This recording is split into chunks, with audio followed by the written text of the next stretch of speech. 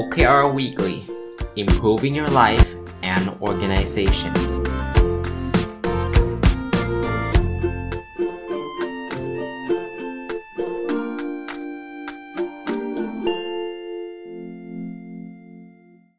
สวัสดีครับ ยินดีต้อนรับเข้าสู่ OKR Weekly นะครับ ก็เป็นรายการที่ผมจัดทุกวันพุธมาตั้งแต่ต้นปีนี้นะครับ นี่จะสิ้นสุดquarter ที่ 3 แล้วนะ ไตรมาสที่ 3 แล้วเผลอแป๊บเดียวเองนะครับ ผมก็ยังกลับมากับคำถามที่หลั่งไหลมาจำนวนไม่น้อยเลย เกี่ยวกับการทำ OKR นะครับ ก็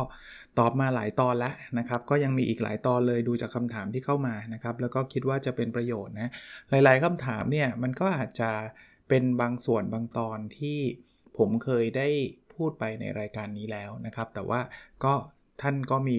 ข้อสงสัยมาก็ขออนุญาตเอามาเล่า แล้วก็ตอบคำถามให้ฟังนะครับ ท่านนี้ถามมาบอกว่า OKR สำหรับฝ่ายขายเนี่ยคือเป้าเป้ายอดขายนะครับ หากสถานการณ์โควิดที่กำลังเป็นปัญหาใหญ่ตอนนี้ไม่ดีขึ้น ส่งผลให้ OKR หรือกิจกรรมไม่บรรลุผล ต้องมีการแก้ไขปรับเปลี่ยน OKR ในแต่ละแต่ละไตรมาสใหม่ไหม หรือเปลี่ยนทิศทางเพื่อให้เหมาะสมกับสถานการณ์นะจริงๆ เรื่องนี้เป็นเรื่องที่หลายคนเจอเต็มๆนะครับคำถามก่อนว่าไอ้ OKR เนี่ยตั้งแล้วมันปรับได้ไหม คำตอบคือปรับได้นะครับ แต่คำถามว่าต้องปรับไหม อันนี้อาจจะต้องต้องแยกแยะก่อนว่าปรับไปเพื่ออะไร ถ้าสมมุติว่าท่านจะปรับเพื่อแค่ว่าจะได้บรรลุ OKR อย่างนี้ไม่จำเป็นต้องปรับนะครับถ้าไม่งั้นมันก็ไม่ต้องตั้งนะครับ ถ้าบอกว่าไม่บรรลุเราก็ต้องปรับให้มันให้มันลงมาเพื่อให้มันบรรลุไม่ไม่ใช่ประเด็นเลยนะครับ สมมุติว่าเราเคยอยากขายร้อยล้าน แต่ว่ามันเจอโควิดเนี่ยคำถามที่ผมจะถามคือ อย่างนี้ต้องปรับไหมให้มันเหลือ 50 ล้านเหลือ 20 ล้าน ผมก็จะถามคำถามว่าตอนนี้ยังอยากได้ยอดขายร้อยล้านอยู่ไหม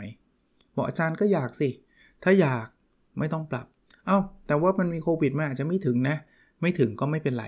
นะครับ OKR ไม่ได้ตั้งขึ้นเพื่อต้องทำให้ถึงนะ เราตั้งขึ้นเพื่อเราจะได้มีแรงจูงใจที่เราอยากที่จะทำให้ได้มากที่สุดเท่าที่จะเป็นไปได้นะ เพียงแต่ว่าถ้ามันเป็นกรณีแบบนี้ครับ สมมุติบอกว่า OKR ของเราตั้งบอกว่าเราจะขยายสาขาอีก 20 สาขา แต่พอมันเกิดโควิด -19 เกิดขึ้นตู้ม ไม่ต้องพูดถึงการขยายสาขาละ ตอนนี้ไม่ใช่ทิศทางขององค์กรอีกต่อไปละ ตอนนี้เราจะต้องเน้นเน้นการลดค่าใช้จ่ายมากกว่าแล้ว ถ้าอย่างเงี้ยไอ้การขยายสาขา มันจะไม่ใช่สิ่งที่เราอยากได้ต่อไป อย่างน้อยๆ ก็ในปีนี้ อย่างนี้ปรับเลยครับ ไม่ต้องไปรอให้มันหมดปีก่อน หรือว่ารอให้มันหมดไตรมาสก่อน นะเราสามารถที่จะปรับได้เลยนะครับ ผมขอตอบแบบนี้ก็แล้วกันว่าคำถามคือ ท่านยังอยากได้สิ่งที่ท่านตั้งไว้ตั้งแต่แรกหรือหรือไม่นะครับ ถ้ายังอยากได้ตั้งไปจะไม่ถึงก็ไม่เป็นไรครับ เป็นเพราะโควงโควิดก็ว่ากันไปครับ แต่ถ้ามันไม่ได้อยากได้แล้วมันไปคนละทิศคนละทางแล้วต้องปรับนะครับท่านนี้ถามมาบอกว่าถ้าเราไปไม่ถึงหรือไม่สามารถทำได้ภายในระยะเวลาที่กำหนด ที่คิดไว้ว่าจะทำได้ตั้งแต่ตอนแรกจะมีการ รับมืออย่างไรดี ก็ปรับเปลี่ยนวิธีการครับ ก็กลับมานะครับ ไปไม่ถึงก็มันแปลว่าวิธีนั้นอาจจะไม่เวิร์กหรือมันอาจจะเป็นเรื่องโควิด เรื่องที่เราควบคุมไม่ได้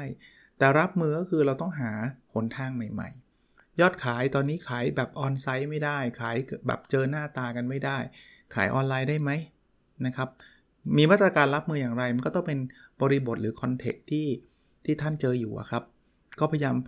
หาทางพัฒนาปรับปรุงวิธีการต่างๆนะครับ ท่านนี้ถามมาบอกว่าอาจารย์มี case study การใช้ OKR ที่สำเร็จไหมนะครับ จริงๆมีหลายเคสนะ ผมจะเล่าเคสที่ผมมักจะเล่าอยู่เรื่อยๆก็คือที่หอสมุดแห่งมหาวิทยาลัยธรรมศาสตร์นะครับ ท่านผออหอสมุดเนี่ยก็ใช้ OKR มา 3-4 ปีแล้วล่ะนะเคสของหอสมุดเนี่ยเป็นคลาสสิกเคสมากสำหรับผมนะครับ เพราะว่า 1 คือเป็นหน่วยงานราชการ ซึ่งโดยทั่วไปเนี่ยคนจะเชื่อว่าหน่วยงานราชการเนี่ย ทำ OKR หรือทำอะไรสำเร็จได้ยากนะ เพราะว่ามันมีกรอบความคิดแบบราชการอยู่ แต่ไม่ใช่ที่หอสมุดนะเขาเริ่มต้นจากการทำ OKR น้อยๆ ไม่ได้ทำเยอะแยะมากมายเต็มไปหมดนะครับเขาเริ่มต้นจากการขับเคลื่อนเรื่องความพึงพอใจผู้ใช้บริการนะพอเขาเริ่มขับเคลื่อนเรื่องนี้ครับ ทุกคนเริ่มเข้ามาเรียนรู้วิธีการใช้ แล้วก็เริ่มที่จะต่างคนต่างคิดแนวทางของตัวเอง จนกระทั่งเขาสามารถที่จะมีบริการใหม่ ๆ ออกมาเต็มไปหมดเลยครับ แล้วก็เกิดแรงจูงใจภายใน เขาไม่ได้เอา OKR ไปลิงก์กับผลตอบแทน การเงินไม่ได้ไปลิงก์กับเงินเดือนโบนัสใดๆเลยฮะยังมีการใช้ระบบเดิมๆ มี KPI วัดการขึ้นเงินเงินเดือนเหมือนเดิมทุกประการไม่ได้ไปแตะระบบนั้นนะครับ แต่สิ่งที่ได้มาคือแนวคิดใหม่ๆ เพราะว่า OKR เนี่ย ถึงไม่ถึงไม่ใช่ประเด็นอย่างที่ผมเรียนตั้งแต่ตอนต้นละ ประเด็นคือได้ทำ แล้วเขาได้ทำอะไรที่มันเป็นสิ่งที่เขามีความรู้ความสามารถสิ่งที่เขาชอบ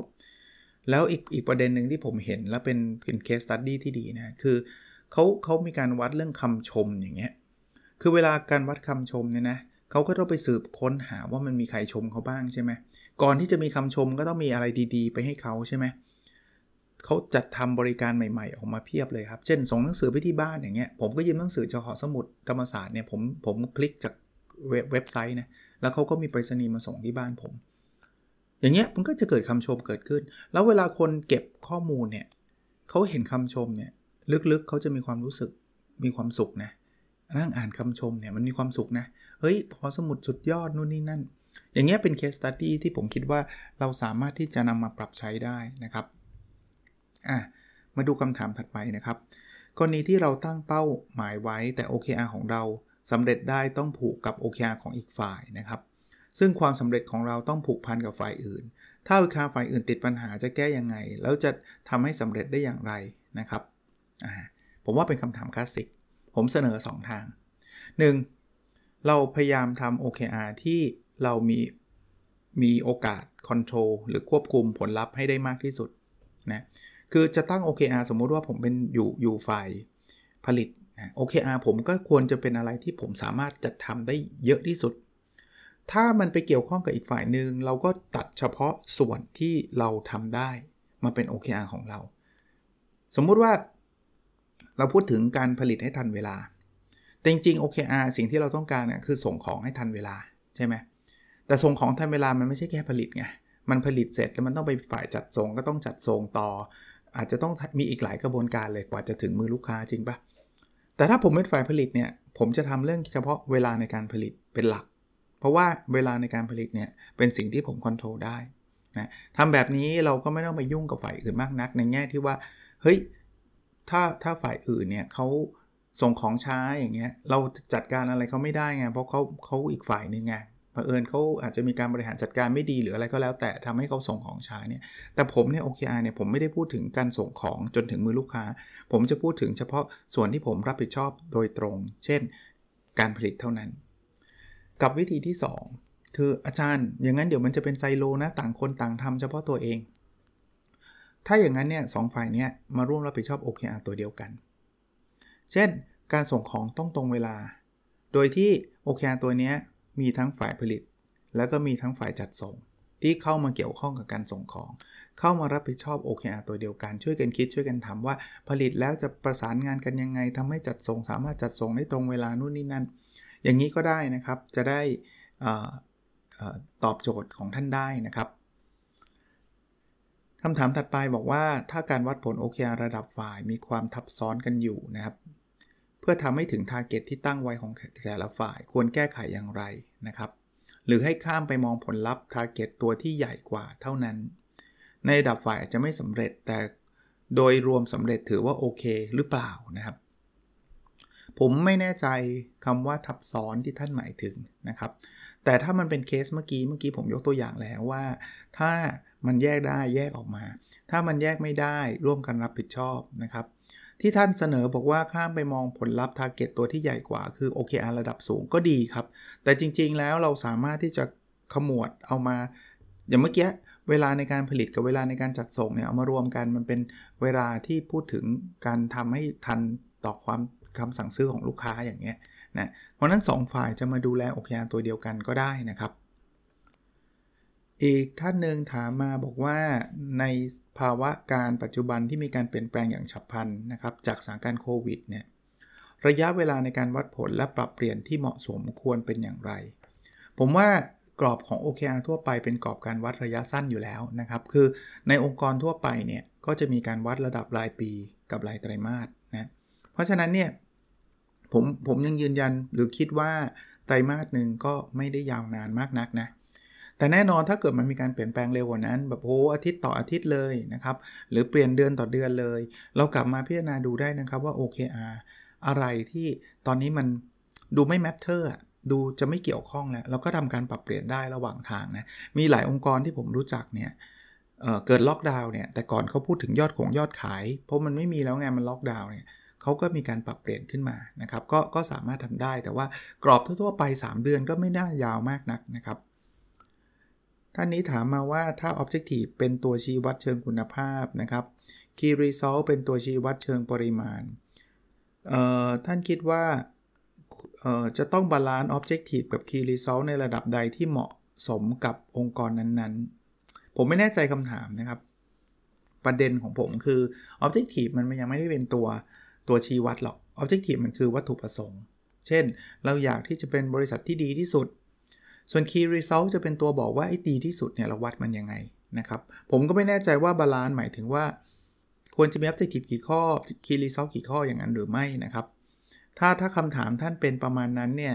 หลักการทั่วไปก็คือใน 1 ไตรมาสหรือใน 1 ปีในในรอบการวัด OKR เนี่ยนะครับ Objective ไม่ควรเยอะก็คือไม่ควรเกิน 3-5 ข้อ ใน 1 Objective ควรมี Key Result ไม่ควรเกิน 3-5 ข้อนะครับ ท่านี้คำถามนี้เป็นคำถามที่เจอบ่อยเลยนะครับ บอกว่าถ้าทำ Key Result ไม่ครบ แต่ Objective สำเร็จ แสดงว่า Key Result ที่ตั้งไว้อาจจะไม่ถูกต้องหรือไม่เหมาะกับบุคคลหรือไม่ ผมผมเรียนตอบทุกกับทุกสัปดาห์เลยมั้งครับว่า มันจะไม่มีวันที่ Key Result ไม่ได้แล้ว Objective จะได้ไง ถ้าท่านตั้งตามที่ผมแนะนำนะ คือ Objective มันเป็นวัตถุประสงค์ที่มันไม่มีตัวเลขอะ ผมบอกว่าผมจะเป็นบริษัทที่ดีที่สุดเนี่ย ผมมี Key Result 3ข้อ ก็คือ 1 ยอดขายต้อง 2,000 ล้าน 2 Market Share ต้อง 30% 3 Customer Satisfaction Index ต้องเกิน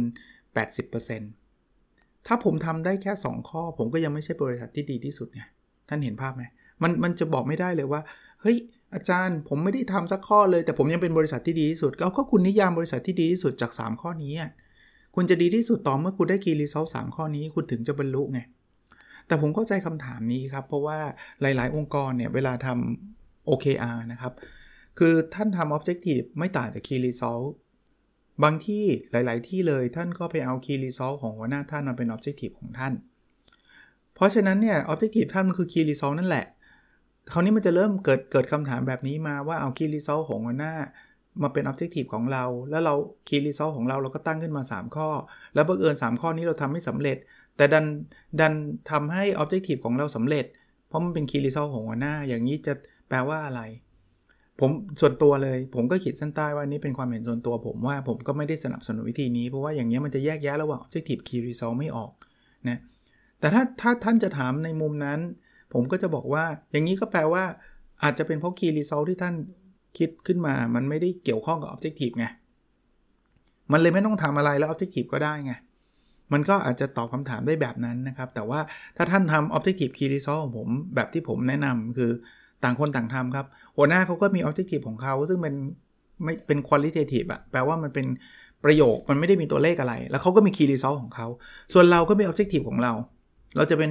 ฝ่ายขายที่ดีที่สุด แล้วเราก็มี Key Result ของเราเพียงแต่ว่าเราต้องลิงก์ให้ได้ครับว่าไอ้ Objective Key Result เรามันไปตอบ Objective Key Result หัวหน้าข้อไหนแค่นั้นเองครับมีท่านถามมาบอกว่ามีที่ไหนใช้ OKR บ้างนะครับ หลายที่นะครับที่ที่ผมเล่าให้ฟังเรื่อยๆ ก็หอสมุดมหาลัยธรรมศาสตร์นะครับ แล้วก็อีกหลากหลายแห่ง ผมก็ยังไม่ได้ขออนุญาตท่านมา ผมไปบรรยายให้กับหลากหลายที่ เอางี้ผมให้ตัวเลขแล้วกันนะที่ผมทำวิจัยอยู่อย่างน้อยๆก็ 40 50 ที่ในประเทศไทยนะครับ แต่ผมคิดว่าหลายคนก็อาจจะทำเอามานำมาใช้ แต่ว่าท่านก็ยังไม่ได้ประกาศออกมาเท่านั้นเองนะครับ ท่านนี้ถามว่า โอเคอาทันทำแล้วจะวัดผลอย่างไรที่เรียกว่าสำเร็จเหมือนที่ Intel Google ทำแล้วประสบความสำเร็จมาแล้วนะครับ อยากทราบว่าที่บอกว่าประสบความสำเร็จคือใช้กลยุทธ์ หรือวิธีการสู่ความสำเร็จอย่างไร และได้นำมาปรับ จะได้นำมาปรับแนวคิดนะสำหรับผมเนี่ยความสำเร็จเนี่ยผมจะวัดจากว่าคนในองค์กรเนี่ยมีความรู้สึกอยากจะทำงานมากขึ้นหรือเปล่า ผมยังไม่ได้วัดว่าได้ OKR ตามที่ตั้งไว้หรือหรือไม่นะ แต่ว่าใช้ OKR แล้วเนี่ยไอตัวที่เขาตั้งขึ้นมาเนี่ยทำให้เขาอยากมาทำงานมากขึ้นเนี่ยผมเชื่อว่าสำเร็จ Intel ที่ว่าสำเร็จเนี่ยผมก็เชื่อว่า คนใน Intel ก็อยากมาทำงานมากขึ้น Google สำเร็จเนี่ยมันเกิด innovation ใหม่ๆ แต่ก่อนที่จะเกิด innovation ใหม่ๆเนี่ยผมคิดว่ามันเกิดแรงจูงใจภายในก่อน หอสมุดธรรมศาสตร์ที่ผมยกตัวอย่างว่าสำเร็จเนี่ยมันเกิดโอ้โหโปรดักบริการใหม่ๆเพียบเลย แต่ก่อนจะเกิดอันนั้นเนี่ยเขาอยากทำงานเขาอยากคิด เพราะฉะนั้นถ้าคำถามท่านบอกว่า OKR เนี่ยสำเร็จเนี่ยมันจะวัดยังไง ผมก็จะวัดจากแรงจูงใจภายในของผู้ใช้งาน วิธีการวัดก็ง่ายครับแบบสอบถามหรืออะไรก็ได้ครับ แต่ว่าถ้าจะดู evidence จริง ๆ นะ หรือหลักฐานจริง ๆ นะ ท่านก็ดูครับว่าพอคนมีแรงจูงใจแล้วมันเกิดอะไรใหม่ ๆ เกิดขึ้นในองค์กรหรือเปล่านะวิธีการทำงานใหม่ๆโปรดักต์ใหม่ๆ ข้อเสนอแนะใหม่ๆ บรรยากาศในการทำงานมันจะดีขึ้นนะครับ อารมณ์ของความสำเร็จผมจะวัดแบบนี้คราวนี้คำถามที่ 2 ที่ท่านถามต่อมาคือ เอ๊ะอาจารย์ แล้วเราจะรู้ได้ไงว่าวิธีนำไปสู่สิ่งนั้นน่ยจะทำได้ไง ผมว่าท่านย้อนกลับไปฟังแนวคิด OKR เลยมันมันมีหลากหลายวิธีตั้งแต่การออกแบบนะ แต่ผมว่าหลักๆนะเราต้องไม่ใช้ OKR ในการประเมินผลพนักงาน OKR เนี่ย ผมว่า key key success factor นะสองอย่างคือ 1 leadership ผู้บริหารต้องจริงจัง 2 communication ก็คือการสื่อสารไปยังพนักงานต้องให้ทุกคนเข้าใจนะครับ แล้วก็เรื่องปลีกย่อยคืออย่าไปไปใช้ในการประเมิน อย่าไปใช้ในการทำโทษนะครับโฟกัสให้ทำบางเรื่องไม่ใช่ไม่ใช่ไปวัดมันทุกเรื่องทุกราวเต็มเต็มไปหมด เยอะไปหมด แล้วก็ขับเคลื่อนโดยแรงจูงใจภายในประมาณนี้นะครับโอเค เดี๋ยวจะยาวจนเกินไปนะครับสำหรับวันนี้ ผมยังมี part ที่ 2 เป็น part เรื่องของอ OKR Weekly ที่ผมไม่ใช่ OKR Weekly เอ่อ Personal OKR ที่ผมได้ทำมาตลอดนะ หลายปีแล้วละ่ะ แต่ว่าผมก็จะมาอัปเดตทุกสัปดาห์นะครับ เพื่อที่จะทำให้ท่านเห็นว่า เออ มันมีความก้าวหน้านะ เวลาเราทำ OKR นี่นี่คือส่วนบุคคลเลยนะครับ ไม่ใช่ OKR งานของผมด้วยซ้ำแต่มันมีหลายอันเกี่ยวกับงานแหละแต่ว่ามันเป็น OKR ของเหมือนเหมือนเป้าของ New Year Resolution อะ่ะเหมือนเป้าปีใหม่เป้ารายปีของผมแต่ผมอัปเดตในรูปแบบของ OKR แล้วอัปเดตทุกสัปดาห์อะเริ่มต้นนะครับ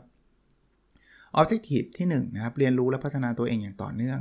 Key Result 1.1 อ่านหนังสือสะสมให้ได้ครบ 90 เล่ม 90 เล่มเนี่ย คือตั้งแต่ไตรมาส1จนถึงปลายไตรมาส3เนี่ยตอนนี้ผมทำไปแล้ว 88 เล่ม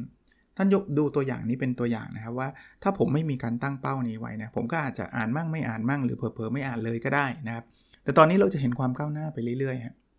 Key Result 1.2 เขียน paper ส่ง2 paper ในไตรมาสนี้ ตอนนี้ทำไป 10%อันเนี้ยยอมรับว่ายังไม่ได้มีความก้าวหน้า แต่ว่าคิดว่าเดือนกันยายนนี้น่าจะต้องต้องต้องทำนะครับ Objective ที่2นะครับแบ่งปันความรู้เพื่อทำให้สังคมดีขึ้น Key Result 2.1 เขียนหนังสือในไตรมาสนี้ให้จบ 1 เล่ม ตอนนี้เริ่มขยับแล้วจาก 70%มาตลอดตอนนี้อยู่ที่ 80%แล้วใกล้ใกล้จบแล้วนะครับ Key Result 2.2 มีคนติดตามฟังพอดแคสต์ 20,000 ดาวน์โหลดต่อวัน สัปดาห์นี้ได้ 14,867 ดาวน์โหลดต่อวัน แต่โน้ตไปนิดนึงครับ ตัวเลขนี้เป็นประมาณการ เพราะว่า ผมมีปัญหากับ Podbean จนกระทั่งตอนนี้4โมงกว่าๆแล้ว5โมงเย็นแล้วนะครับเอ่อผมยังเข้า Podbean ไม่ได้เลยนะครับ login เข้าไม่ได้ มันก็เลยหาสถิติไม่ได้ แล้วกำลังคิดอยู่ด้วยว่าถ้ามัน login เข้าไม่ได้ต่อไปเนี่ยเอ่อพรุ่งนี้เนี่ยคนอาจจะฟังนบรนสตอรี่ที่ผ่าน Podbean ได้ลำบาก เพราะว่าผมจะไปโพสต์ไม่ได้ เพราะผมล็อกอินผ่าน Facebook ไม่ได้ คือใช้ Facebook ล็อกอินพอร์ตบีนไม่ได้กำลังเขียนไปถาม ที่ Podbean อยู่นะครับ ว่ามันเกิดอะไรขึ้นนะ เปลี่ยนเบราว์เซอร์แล้ว ลบคุกกี้แล้ว login ใหม่แล้ว reboot คอมแล้วทำไม่ได้ เปลี่ยนมือถือเอามือถือ login แทนก็ login ไม่ได้นะครับหวังว่าทาง Podbean น่าจะแก้ปัญหาได้ทันนะครับ เราก็ไม่แน่ใจว่าจะเป็นเฉพาะผมหรือเปล่านะครับ หรือว่าเป็นของทุกคนที่ใช้ Facebook login Podbean นะครับมันมันเข้าไม่ได้ Podbean เนี่ยมันมันเวลา login แล้วมันมัน logout อัตโนมัติอะต้องใช้ Facebook login ไปเรื่อยๆ แต่วันนี้เกิดอะไรขึ้นไม่รู้เข้าไม่ได้นะครับ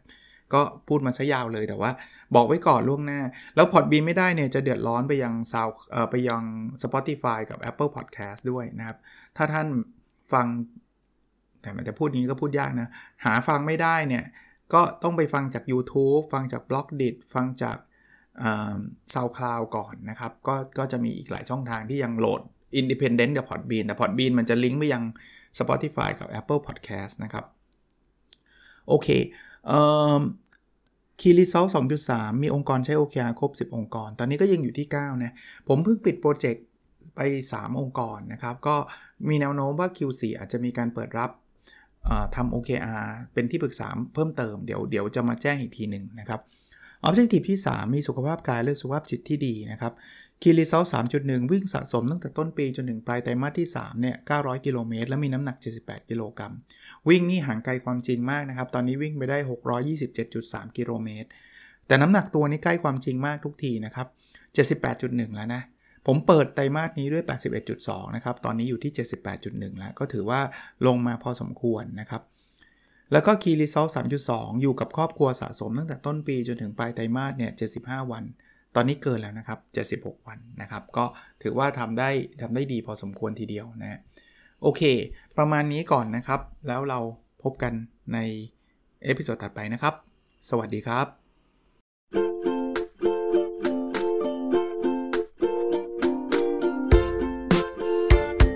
The OKR Weekly Improving Your Life and Organization